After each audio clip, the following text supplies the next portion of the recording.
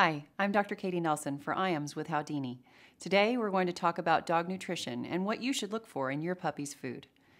Just like infants, puppies require different levels of nutrients than older dogs. Physically, puppies grow fastest during the first six months. The right nutrition is critical to support this rapid growth. That said, your puppy should only receive premium puppy food until he reaches his adult height and weight. That's typically in the first year for small and medium breeds and can be up to two years for large and giant breeds.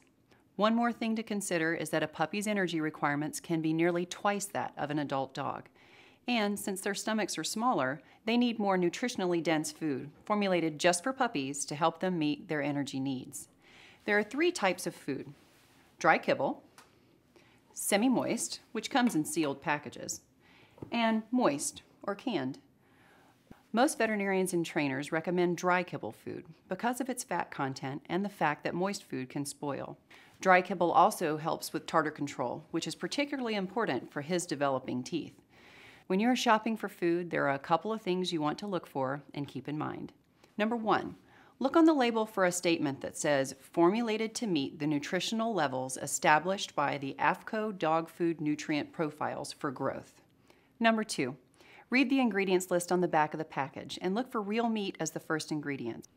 Puppies grow the fastest during the first six months of life, and because growth rates differ among breed sizes, you need to feed a formula designed to address the needs of your puppy's breed and size. Ideally, puppy food should also contain animal based protein for strong muscles. The protein requirement for growing puppies is higher than that for adult dogs. High quality protein is critical for puppies to create new body tissue as they grow. Calcium for strong bones and teeth, iron for healthy blood, DHA for the brain, central nervous system, and vision.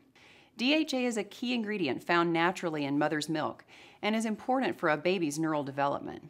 Just like a baby, your puppy's ability to learn depends on healthy brain development. Prebiotics for healthy immune system because 65% of your puppy's immune system is in his digestive tract and high in calories for all the energy a puppy burns. The nutritional needs for puppies differ for different breed sizes. Large breed puppies grow more quickly. Because of that, they actually need less calcium so their bones don't grow too fast. Medium breed dogs need a careful balance of calories and nutrients to be sure that they don't gain excess weight. While small breed puppies need nutrient dense food in small bites because their metabolism tends to be faster and they have different energy needs than larger dogs. Another important thing to know is that what is good for humans is not necessarily good for animals.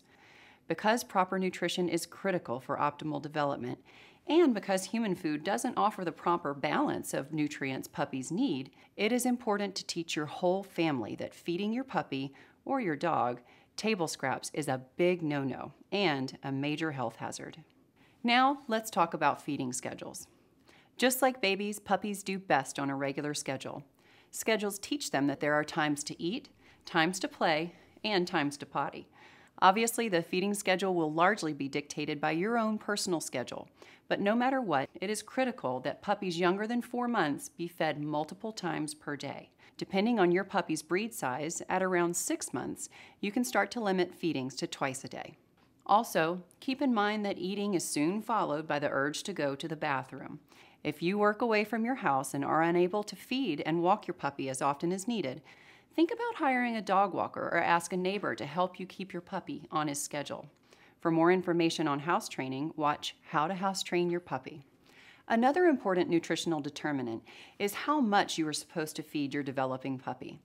Even though the back of the puppy food bags usually have suggested portion sizes based on weight, they are not always right for your puppy. So it's best to pay attention to your puppy's body and talk to your veterinarian. Remember, a fat puppy is not necessarily a healthy puppy. Just as childhood obesity can lead to adult health issues in humans, monitoring a puppy's weight is very important to ensure proper development. Treats are another food source to consider when determining portion size. It is important to limit treating to less than 10% of your puppy's daily caloric intake. When selecting treats, hard chew treats are ideal because they improve dental health through gnawing. Also, try to save treating for training sessions to reward good behavior, but be careful not to overdo it.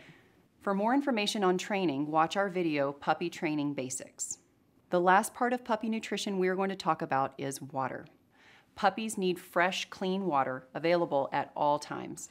Like us, it is their most important nutrient. You should change your puppy's water often, at least once a day. Providing fresh, clean water greatly reduces the risk of disease and therefore keeps your pet happy and healthy. I'm Dr. Katy Nelson for IAMS with Howdini, and I hope that you found this helpful as you welcome your new addition into your family. For more information on puppy care and training, visit iams.com/puppy.